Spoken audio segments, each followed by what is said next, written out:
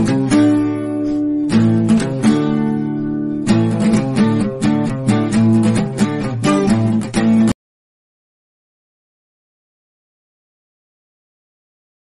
everyone. Uh, welcome to Ivy's YouTube channel. And today we are going to talk about a new function that has been that has come in Excel called group by. Now, what is a group by function do for us? So a group by function allows you to group and aggregate data as well as in that we have things like filter and sorting inbuilt in the function itself. Now to make it very, very simple for you to understand what is the role of a group by function.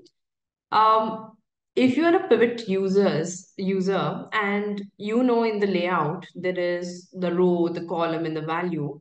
So if I'm putting a field in the row or fields in the row and I'm putting multiple fields in the value part for the aggregation, then it would create a table like one below. So if I have if I drop items in the row and I drop the units in the value, pivot table will return a table like this for me. And this is exactly what we can get in group by without creating any pivot table. So think about group by substitute for your pivot tables and which we can drop multiple fields in the row and we can drop fields in the value and get the summary of the data. Now, to understand it a little better, it is we are going to go through the syntax of group by. So the very first three things that are there are the required arguments of the function. And after that, field headers, total depth, sort order, filter array are optional. So let's look at what is row fields. So row field is basically the column based on which you want to group. So in the example that I took, I have used items as a row field. So it could be one column, it could be more than one column. And values is the range which you want to summarize or aggregate. Third thing is a function and you can give an array of functions like sum, a new function that has come up percent of, average, median, count, count a, max, min, product. So just let's try to use the first three required functions and see how group by is going to help me.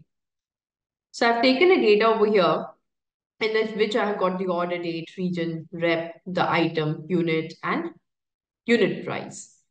Now, instead of creating a pivot table, I'm going to use the group by function. So row field, if I select as items, comma, value that I want to aggregate is let's say units, comma, and the function I want to apply is sum and close the bracket. The output I'll get is item-wise sum of units. Now you notice that the headers are missing in this summary. That's where the next argument comes into picture, which is field headers. Now, field headers can take an input of either 0, 1, 2, or 3. And by default, since it's an optional argument, it is 0. 0 means no headers. 1 would mean headers are there in the data, but don't show them. 2 means headers are not there in the data that I've selected, so I need to generate it. And 3 is headers are present and should be shown. So going back to this summary that we have, now I'm going to use the fourth argument. I'm going to use yes and show.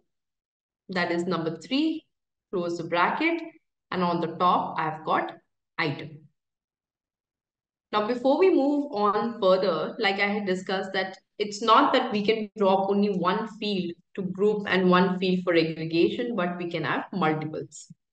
So this time in group by, in the row fields, I'm going to take a region and rep, comma, and I want to find out average unit and unit price. So I'm going to select these two columns in value. So what we're trying to find out is region-wise, rep-wise, what is the unit sold and what was the unit price. So I want to use an average function over here. Let's ask for the headers, yes and show, and close the bracket. So I've got central region, Alex, Bill, Matthew, Morgan, and Rachel, and Smith. These are the unit prices. Uh, these are the number of units sold, average, and this is the average unit price.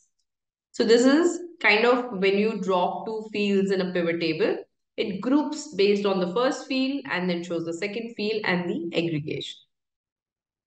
You see at the bottom, it is also showing us the total. Now let's go back and explore what do you mean by total depth. So total depth means the input can be the 0, 1, 2, minus 1 or minus 2. What does this mean? That if I put 0, I will have no totals. If I put 1, I'll get a grand total. If I put 2, I'll get grand total and subtotal.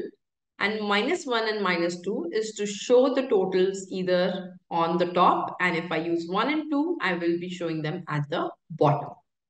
So if I go to the summary that we have already created, and over here, when I put a comma, I get no total. So let's try 0. So that total value is gone. If I put 1 over here, I'll get the grand total at the bottom for the units in price. If I put 2 over here, so remember we have dropped two fields over here. One is region, one is rep. So if I drop 2, I will also get a subtotal. So this row has been created, which is the total of central.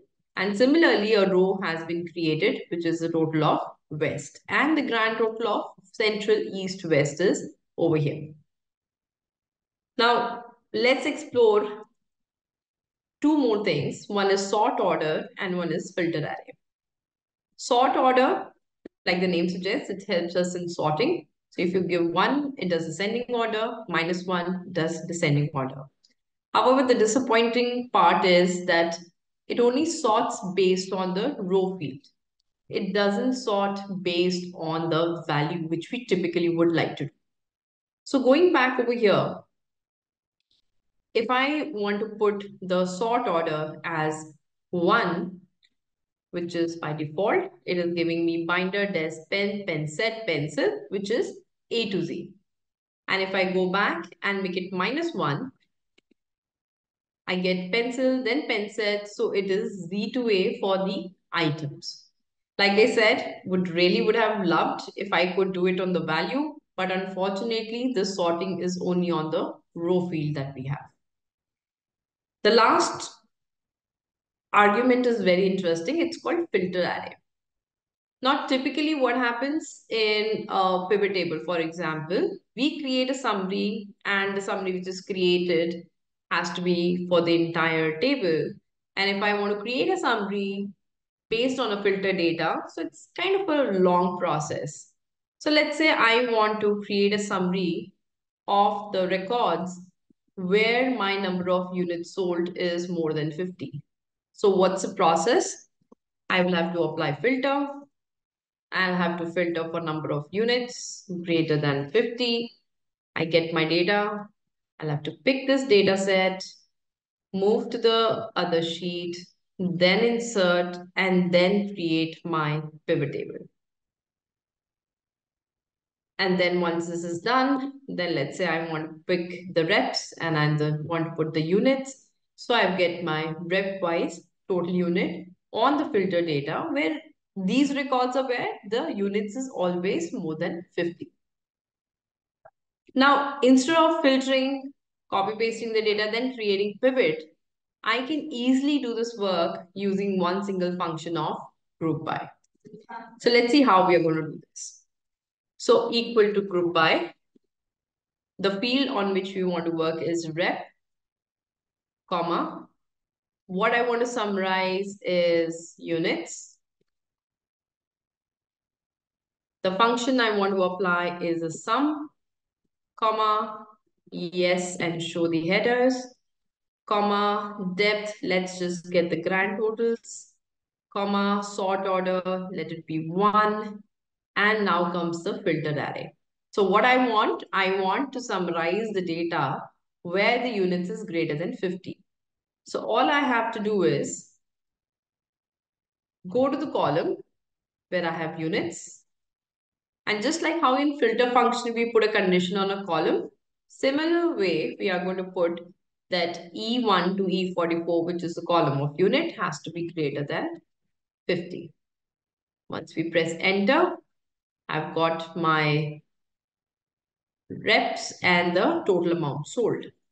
Now just to verify whether we got the right answer, I'm going to copy paste it right next to my pivot table and you can see the answers are exactly matching. So why group by? Why group by and another function which has come up is pivot by? Why these functions are better than what we used to already do in a pivot table? So these functions are definitely lighter. The file size is a big problem for us. So when you put multiple pivots, it kind of makes the file heavier versus using functions like group by and pivot by, it is lighter. You can use some of the complex calculations in the functions using lambda functions. So that's another thing that pivot tables don't have in them. So hence we, it's a nice thing to see functions like group by comes very handy. So I hope you enjoyed this video and you are going to practice group by. In the next video, we will also talk about the function called pivot by. So stay tuned for the next video. If you have not subscribed to the channel yet, please do subscribe to Ivy Pro School. Thank you.